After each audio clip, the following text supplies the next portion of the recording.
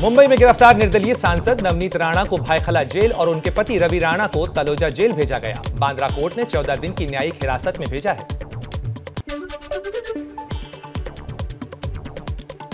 सांसद नवनीत राणा और उनके पति रवि राणा के खिलाफ सरकारी काम में बाधा पहुँचाने के आरोप में धारा तीन सौ तिरपन के तहत एक और केस दर्ज किया गया।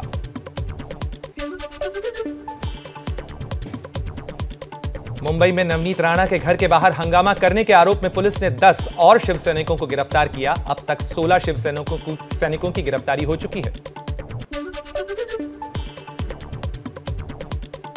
बीजेपी नेता किरीट सोमैया पर हमले को लेकर महाराष्ट्र बीजेपी के नेता आज दिल्ली में केंद्रीय गृह सचिव अजय कुमार भल्ला से मुलाकात करेंगे। किरीट सोमैया दिल्ली पहुँच गए हैं।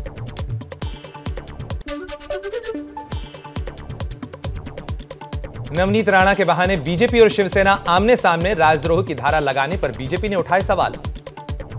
हनुमान चालीसा का पाठ कोई करेगा तो उस पे राजद्रोह का मुकदमा लग जाएगा। उनके कंधे पर बंदूक रखकर सब राजनीति बीजेपी कर रही है सबको मालूम है। हम तो कहते हैं अगर आपको आपका हमारा कोई झगड़ा है तो आप सामने आकर हमारे साथ लड़िए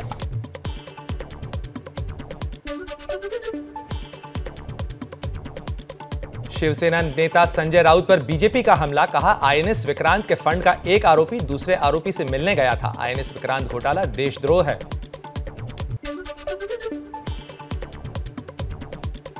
महाराष्ट्र सरकार ने लाउडस्पीकर के मुद्दे को पर आज सर्वदलीय बैठक बुलाई है। एमएनएस चीफ राज ठाकरे बैठक में शामिल नहीं होंगे।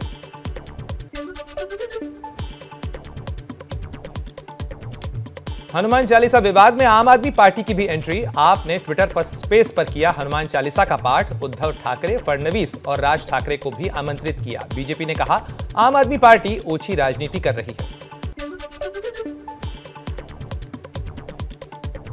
बीजेपी नेता मोहित कंबोज की पुलिस को चेतावनी, कहा एफआईआर दर्ज नहीं हुई तो देंगे धरना। बीजेपी नेता पर 22 अप्रैल को मुंबई में सीएम हाउस के बाहर हमला हुआ था।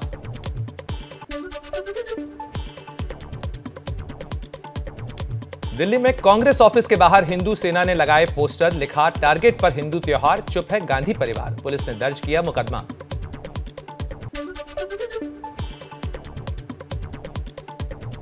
महाराष्ट्र के अमरावती में शिवसेना नेता योगेश गरड पर अपराधियों ने मारी गोली। अस्पताल में चल रहा है इलाज, तीन लोगों पर एफआईआर दर्ज, एक गिरफ़्तार।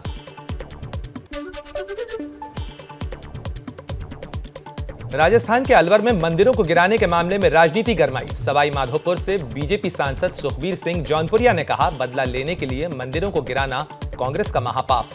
ये कांग्रेस गवर्नमेंट की अपनी झल्लाट इस बात की महसूस होती है कि अगर तुम कहीं मस्जिद तोड़ोगे, हम मंदिर तोड़ेंगे। तो अवैध को हटा के पहले जयपुर में कई मंदिर शिफ्ट किए हैं, वसुंधरा जी टाइम में किए हैं। तो शिफ्ट करना बड़ी बात नहीं है, तोड़ना महापाप है।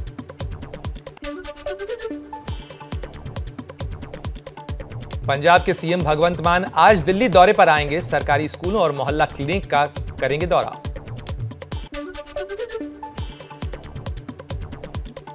यूपी के मुख्यमंत्री योगी आदित्यनाथ के दूसरे कार्यकाल का आज एक महीना पूरा। पिछले एक महीने में की गई कई बड़े फैसले उन्होंने लिए।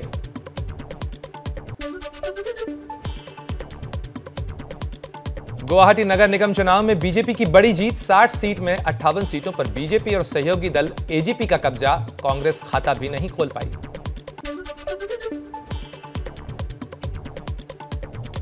आज़म खान से नहीं मिल पाए एसपी नेता रविदास मेहरोत्रा। आज़म खान ने बीमार होने के कारण मिलने से किया इनकार। अखिलेश यादव से नाराज़ चल रहे हैं आज़म। समाजवादी पार्टी से नाराज़ चल रहे आज़म खान पर अखिलेश यादव का बड़ा बयान, कहा पार्टी आज़म खान के साथ है, उनसे कोई नाराज़गी नहीं, उनकी जमानत के लिए कोशिश करेंगे।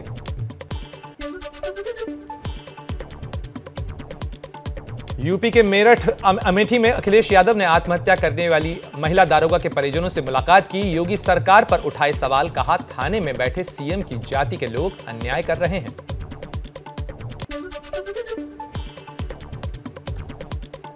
मनी लॉन्ड्रिंग केस में सोनिया प्रियंका का नाम यस बैंक को, के को फाउंडर का दावा एमएफ हुसैन की दो करोड़ की पेंटिंग खरीदने के लिए गांधी परिवार ने बनाया था दबाव। बीजेपी ने मांगा हिसाब। प्रियंका वाड्रा गांधी दबाव बनवाती हैं पूर्व मंत्रियों से कि राणा कपूर दो करोड़ रुपए की पेंटिंग खरीदे। 2010 का ट्रांजैक्शन।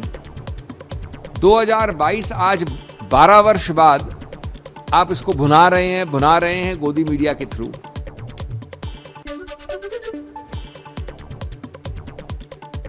एक सौ तैंतालीस वस्तुओं की जीएसटी बढ़ाने का कांग्रेस ने किया विरोध। केंद्र सरकार के प्रस्ताव को कांग्रेस ने मज़ाक बताया। राज्य और केंद्र स्तर पर विरोध की भी की बात। इस बार जो प्रस्तावित है मुझे लगता है कि ये कुछ लुप्त सुप्त सरकार कर रही है या सरकार के सीधे दाएँ हाथ को मालूम नहीं कि बायां हाथ क्या कर रहा है।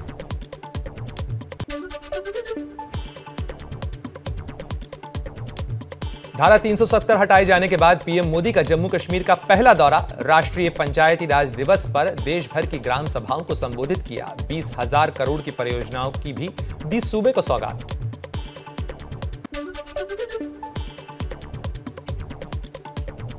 पीएम ने all weather Banihal Qazigund road tunnel का उद्घाटन किया। दिल्ली अमृतसर कटरा एक्सप्रेसवे की भी आधारशिला रखी। आज़ादी के अमृतकाल, यानी आने वाले 25 साल में नया जम्मू कश्मीर विकास की नई गाथा लिखेगा। पीएम मोदी आज दिल्ली में रायसीना डायलॉग के सातवें संस्करण का उद्घाटन करेंगे। यूरोपीय कमीशन की अध्यक्ष उर्सुला वॉन चीफ गेस्ट होंगी।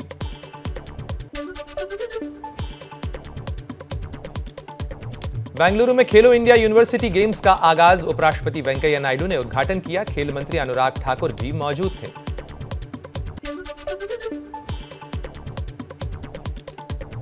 खेलो इंडिया यूनिवर्सिटी गेम्स के आयोजन पर पीएम मोदी का संदेश। पीएम ने कहा, अब देश में नए स्पोर्ट्स साइंस सेंटर स्थापित हो रहे हैं।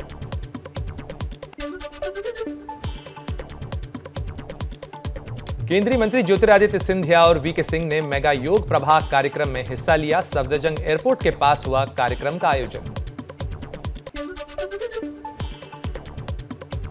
हरियाणा के सीएम मनोहर लाल खट्टर ने पारंपरिक मार्शल आर्ट, गटका में हिस्सा लिया। 400वें प्रकाश पर्व कार्यक्रम में हुआ इसका आयोजन। पीएम मोदी को मिला पहला लता मंग, दी, लता दीनानाथ मंगेशकर अवार्ड। आशा पारेख जैकी श्रॉफ को सिनेमा में उनके योगदान के लिए मास्टर दीनानाथ पुरस्कार स्पेशल ऑनर दिया गया। मैं इस पुरस्कार को सभी देशवासियों के लिए समर्पित करता हूँ।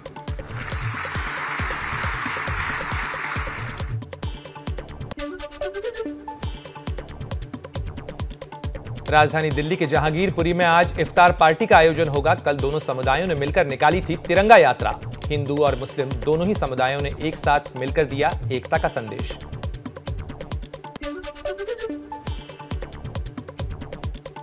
गुजरात के कांग्रेस विधायक जिग्नेश मेवाणी की जमानत पर आज असम में कोकराझार कोर्ट में सुनवाई होगी।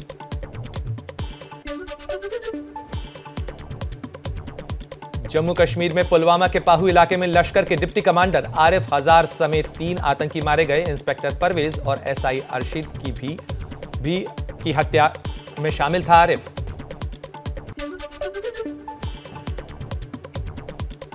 लखीमपुर खीरी हिंसा के मुख्य आरोपी आशीष मिश्रा ने सीजीएम कोर्ट में सरेंडर किया। सुप्रीम कोर्ट ने जमानत रद्द की थी। आशीष पर किसानों को गाड़ी से कुचलने का आरोप है।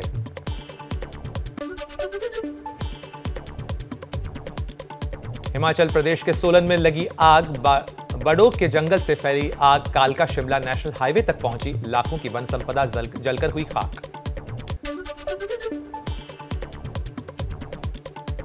श्री राम जन्मभूमि तीर्थ क्षेत्र ट्रस्ट के अध्यक्ष महंत नृत्य गोपाल दास लखनऊ के मेदांता अस्पताल में भर्ती। यूरिन इन्फेक्शन की शिकायत के बाद उन्हें अस्पताल में भर्ती कराया गया।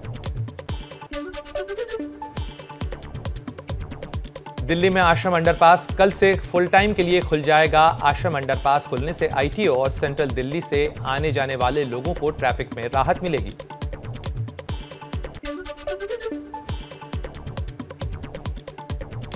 यूपी के मुरादाबाद में पुलिस के स्निफर डॉग की मौत राजकीय सम्मान के साथ दी गई डॉग को अंतिम विदाई। बीते 10 सालों से यूपी पुलिस की सेवा कर रहा लेबराडोर डॉग वीकॉन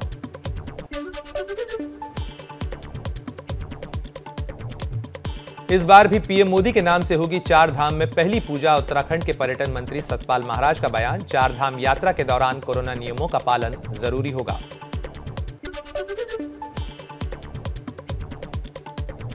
एमपी के इंदौर में 28 से 30 अप्रैल तक होगी मध्य प्रदेश ऑटो शो। इससे पहले निकाली गई सुपर कार और super bike rally. Nehru stadium से शुरू हुई सुपर कॉरिडोर पर जाकर खत्म होगी ये रैली।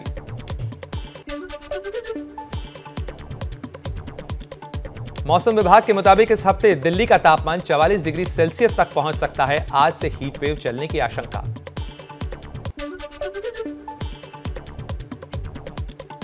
दिल्ली के सरोजी नगर इलाके में झुग्गी हटाने की कार्रवाई के खिलाफ याचिका पर आज सुप्रीम कोर्ट सुनवाई करेगा।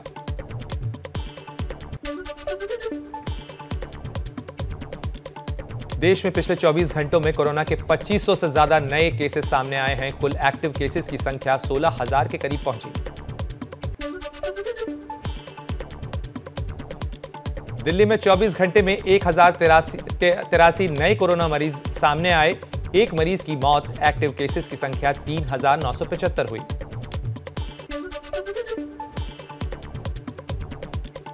यूपी में भी कोरोना की रफ्तार तेज। 24 घंटे में 213 नए मामले सामने आए। दो मरीजों की मौत नोएडा में सबसे तेज। ज़्यादा रफ्तार से अठानवे केस तो गाजियाबाद में छप्पन नए मरीज़ मिले हैं।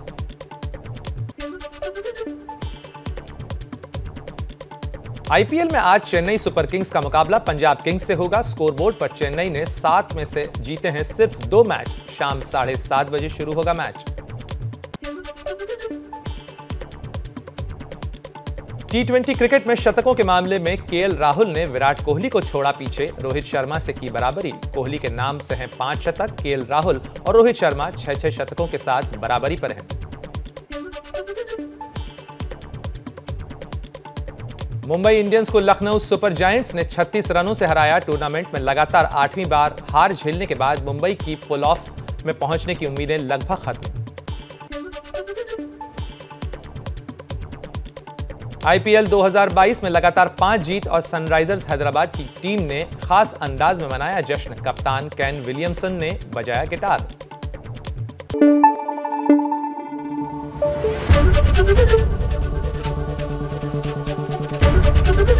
ABP news.